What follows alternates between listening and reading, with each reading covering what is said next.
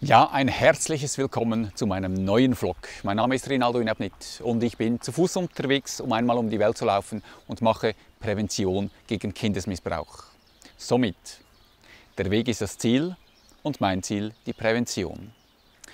In diesem Vlog werdet ihr mich jetzt erleben, wie ich unendlich dankbar bin für diese Menschen, für diese Begegnungen, was ich auf diesem Weg erlebt habe. Des Weiteren habe ich ein ganz, ganz herzliches Dankeschön auszusprechen an euch, liebe Familie Hellmann, S.M.L. Ich spreche den Namen nicht ganz aus, aus Diskretionsgründen. Euch ganz herzlichen Dank, dass ich dieses Areal besuchen konnte. Wisst ihr welches Areal? Ich blende hier sicher mal ein Bild rein. Und das war ein super Anlass, ein super Ort und das Wetter hat mich super, super begleitet. An dieser Stelle euch nochmals allen einfach ein herzliches Dankeschön. Schaut jetzt diesen Vlog und wie immer unten im Link klickt den Link an. Kinderschutz, Prävention gegen Kindesmissbrauch. Dort werdet ihr sehen, was ich für Arbeit leiste zum Schutze der Kinder und möchte das euch inklusive meiner Videos näher bringen zum Schutze unserer Kinder. Jetzt Film ab und viel Vergnügen.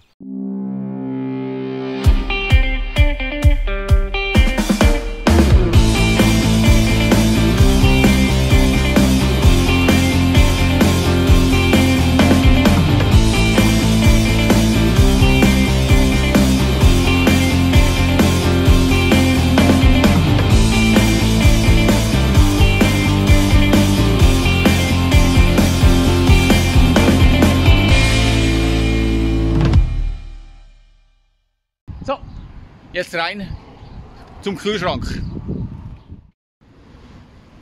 Ja, der nächste Tag ist angebrochen von meinem Freitag.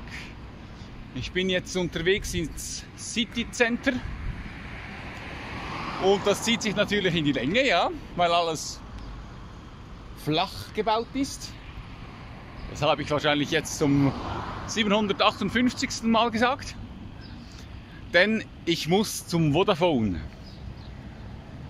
Gestern, oder besser gesagt vorgestern, war mein letzter Tag, Servus, wo ich ja, Internet hatte.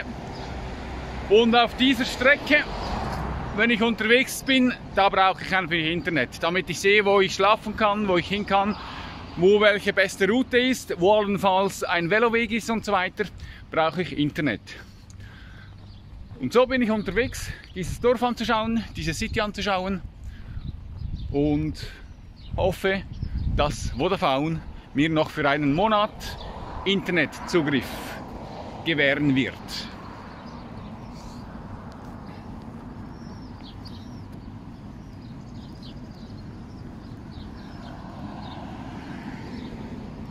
So, das ist jetzt hier das City Center.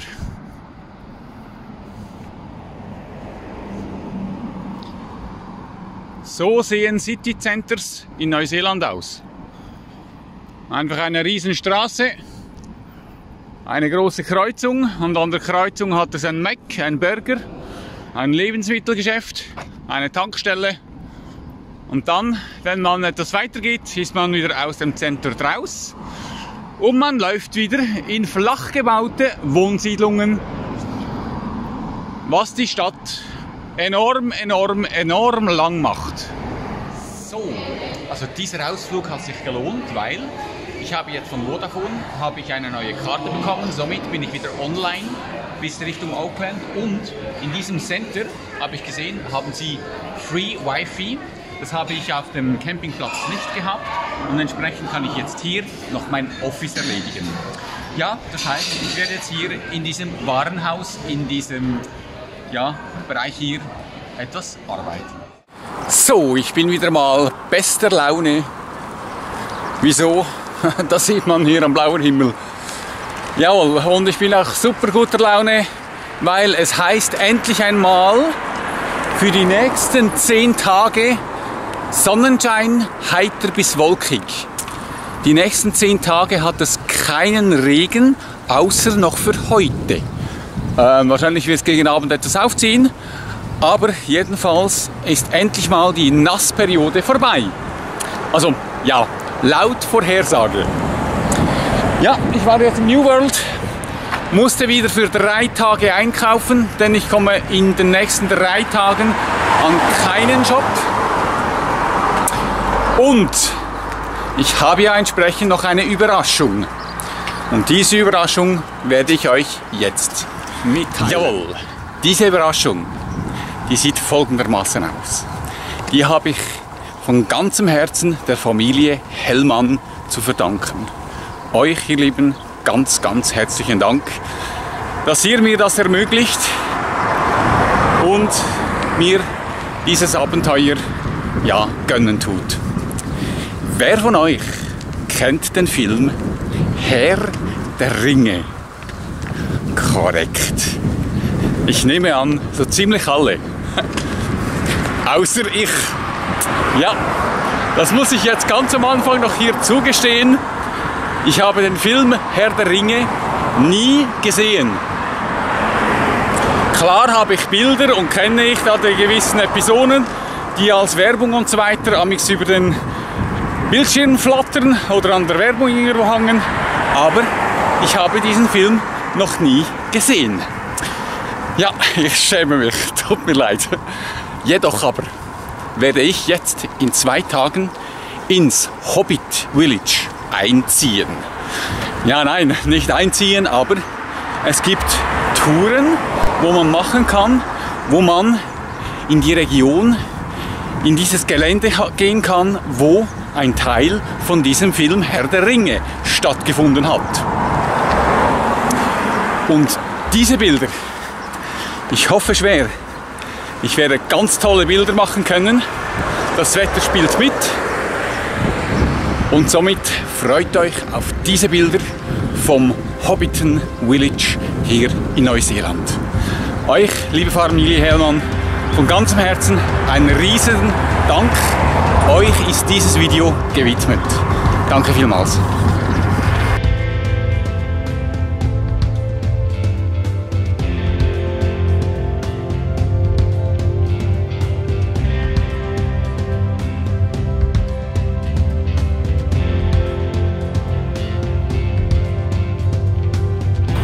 Blick zurück nach Rotorua.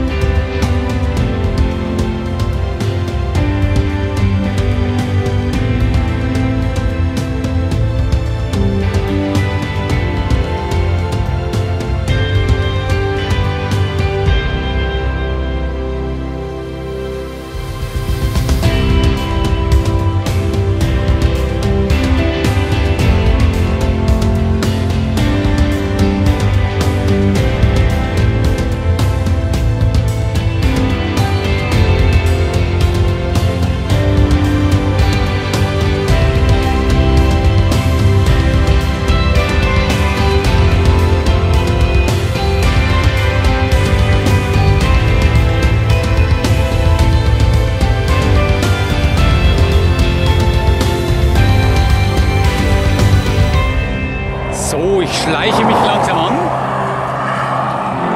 Schau mal, wie das hier aussieht.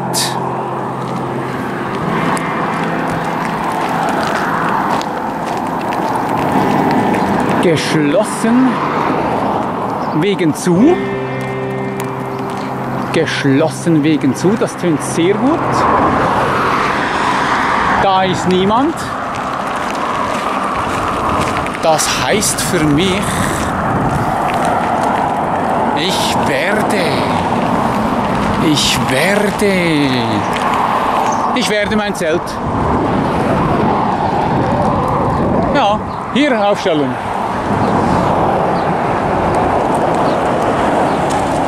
Mein Zelt werde ich hier aufstellen. Die sind ja zu, ist ja niemand da. Und ich bin mittendrin im Nirgendwo. Und somit ist das die, die beste Möglichkeit.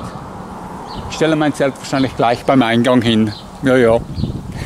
Nein, doch ja, aber nein, ich mache es nicht einfach so. Da donnert's. Ich habe mit diesem Kaffee hatte ich E-Mail-Verkehr und die haben mir gesagt, dass ich hier hinter diese Steine, ja genau da, mein Zelt aufstellen dürfe und hier übernachten darf. Also ich mache es nicht einfach so. Das wäre, das wäre etwas, ja, etwas dangerous, because ähm, das hier ist Privatareal wahrscheinlich. Aber das habe ich mit ihnen so abgemacht. Und morgen habe ich dann circa noch 30 Kilometer. Dann bin ich an meinem Pausenort, wo ich danach das Hobbit Village besuchen werde. Ich wurde heute verschont und heute ist es ein wunderbar, super genialer Tag gewesen.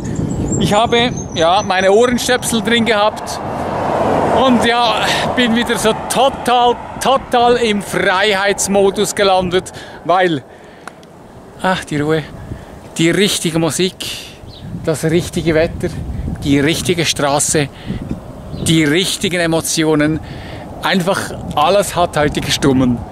Einfach wow, Freiheit pur. So, jetzt so. I wanna have to say a really great thank you.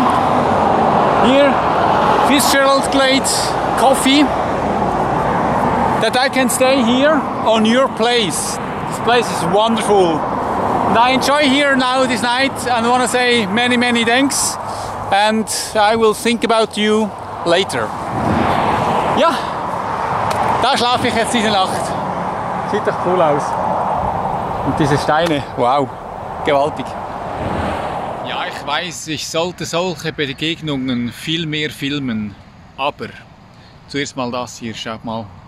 Ich habe jetzt von den Besitzern ein Nachtessen bekommen, inklusive ein Dessert. Schaut an. Das haben sie mir jetzt gebracht und sagten mir Merry Christmas schöne Weihnachten.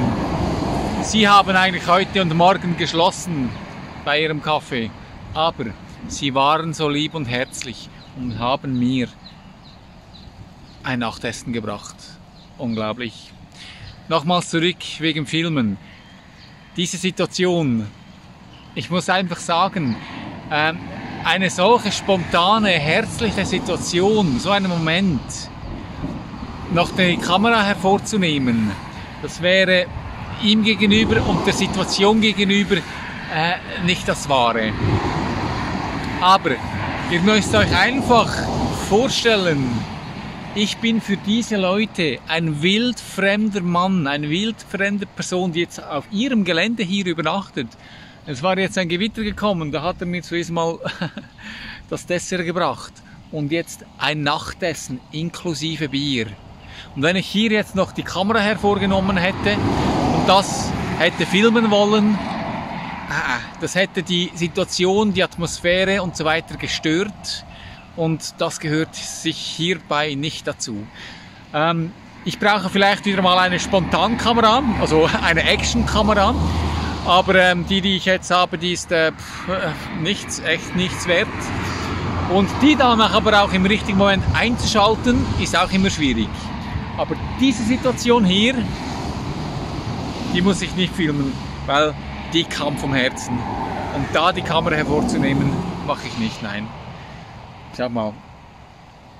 On this time, on this situation, for you, really, really a big hug and a big thank you. You are beautiful and I wish you for 2023 and all thousand years ago only the best. Thanks so much. I enjoy my dinner now.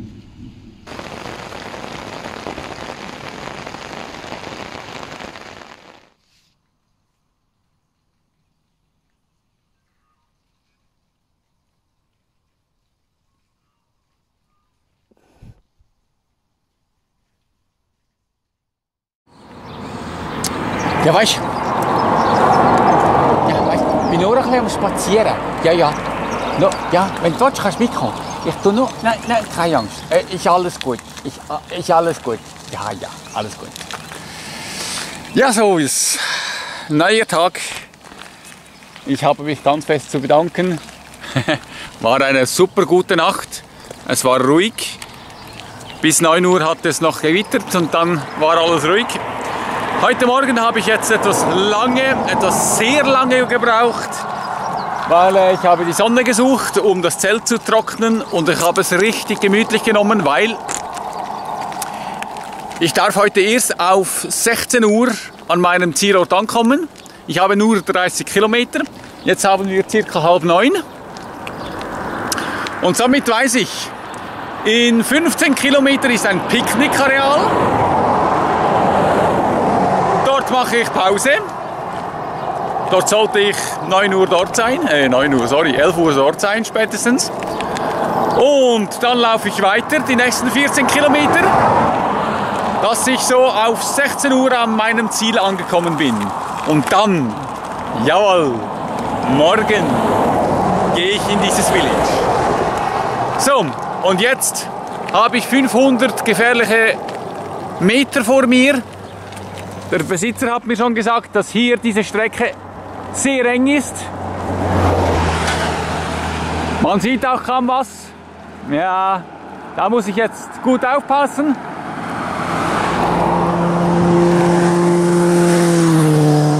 Aber da ich ja bis 16 Uhr Zeit habe, kann ich all zwei Meter auf die Seite stehen für 15 Minuten und dann kommt das gut.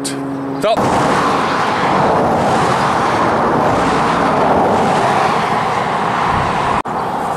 Solig, einmal Bus, dreimal Lastwagen habe ich überlebt.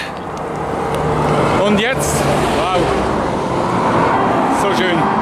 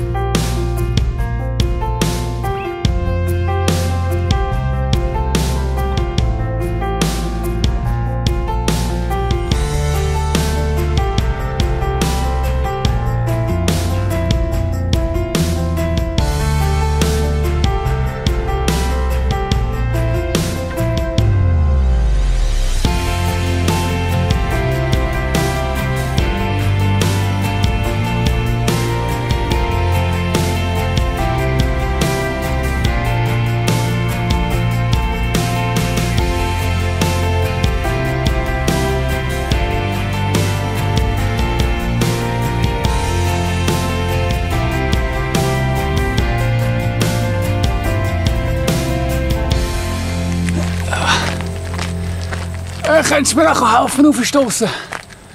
Da komm, hilf mir. Ah, du bist mir einer. Ah, und dann eine Steinbodenhilfe. Das rutscht, also Kies. Oh, nicht schneller als 10 Stundenkilometer. Ui, ui. So, mein Zelt steht.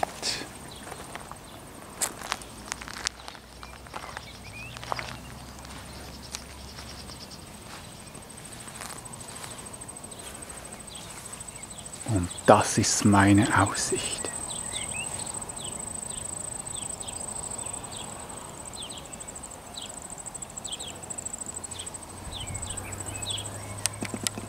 Jawohl, und ich darf jetzt so lange filmen, wie ich noch möchte, weil ich habe an diesem Ort doch noch eine Steckdose gefunden. Somit werde ich nachher meinen Laptop mein Handy und diese Kamera wieder auffüllen und dann bin ich für morgen gewappnet. Und dann gibt es, ich meine, heute hat es schon gewaltig, gewaltige Bilder gegeben. Was morgen abgeht, morgen, das werden wir dann sehen. Ich mache jetzt hier meine Wäsche, esse nachher was und ich wünsche somit schönen Feierabend.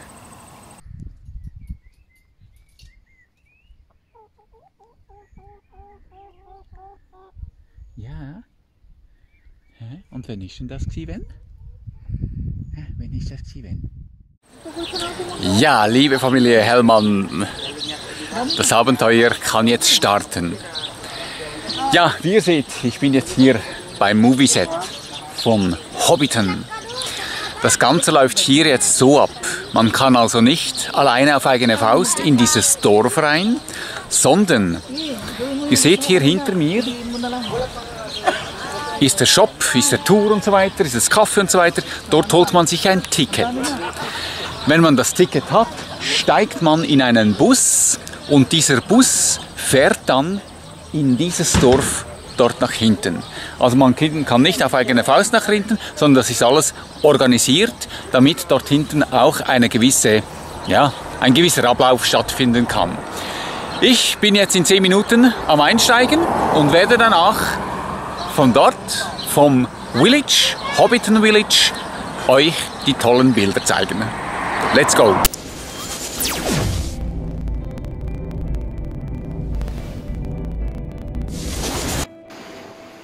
Zwei Minuten für den Kinderschutz. Und heute gehen wir das Thema ein. Wie sieht ungefähr ein Interventionsschema aus, falls es in einem Verein zu einer Vermutung eines sexuellen Übergriffs kommt? Eine Trainerin, ein Trainer wird aufmerksam auf eine Situation, die ihm, die ihr suspekt vorkommt. Die Vermutung entsteht, dass ein sexueller Missbrauch stattfinden könnte, hier im Verein.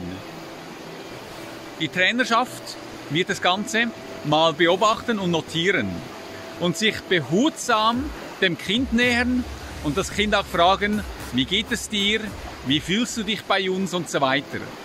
Gibt es spezielle Situationen, die du nicht gerne hast? Und so versucht die Trainerschaft mal zu spüren, ob das Kind bereit wäre, um eine Aussage zu machen. Ist das Kind bereit, eine Aussage zu machen? Nimmt die Trainerschaft das Ganze auf? Es werden keine Suggestivfragen gestellt, nur offene Fragen, dass das Kind von sich aus erzählen kann. Darauf hat die Trainerschaft, welche diesen Vorfall beobachtet hat, die Pflicht, sich beim Verein zu melden. Es wird im Verein ein Team gebildet, welches sich um diesen Fall kümmert. Es müssen Personen sein, welche nicht in Kontakt mit der beschuldigten Person steht, beziehungsweise nicht in näherer Kontakt und das Ganze auf einer Distanz anschauen kann. Dieses kleine Team wird diesen Fall bearbeiten bzw. alles notieren und weitere Maßnahmen besprechen. Das Team wird, falls der Verdacht sich verhärtet, sich an eine Fachstelle wenden, um fachmännisch begleitet zu werden. Die beschuldigte Person, der Trainer, die Trainerin, welche beschuldigt wird, allenfalls einen sexuellen Missbrauch begangen zu haben, wird nicht angesprochen. Denn so könnte die beschuldigte Person ein Alarmsignal erkennen und sich zurückziehen und das Kind beeinflussen mit Drohungen. Entsprechend die beschuldigte Person wird nicht angesprochen. Das wird dann ein Fall sein für die Polizei, falls es dann zur Anzeige kommt.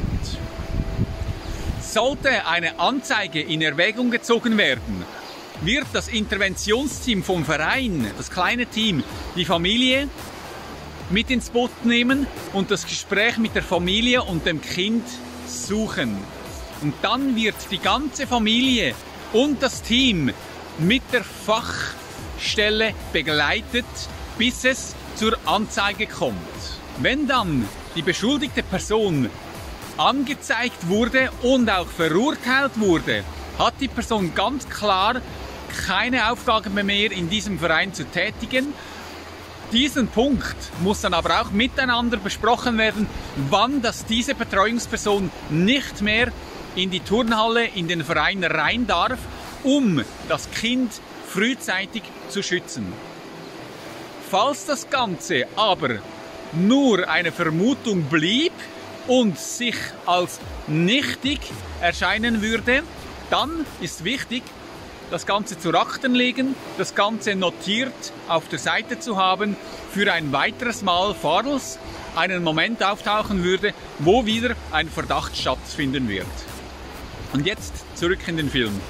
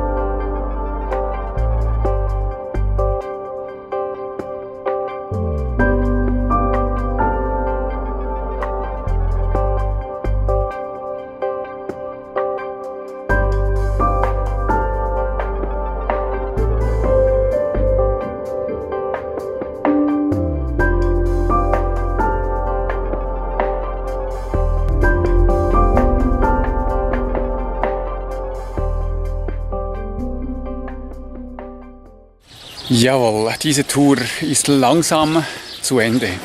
Und ich muss ganz klar sagen, ich bin hell begeistert. Und auch wenn ich bis jetzt noch keinen Film gesehen habe, der hier gedreht wurde, muss ich ganz klar sagen, fantastische Tour gewesen.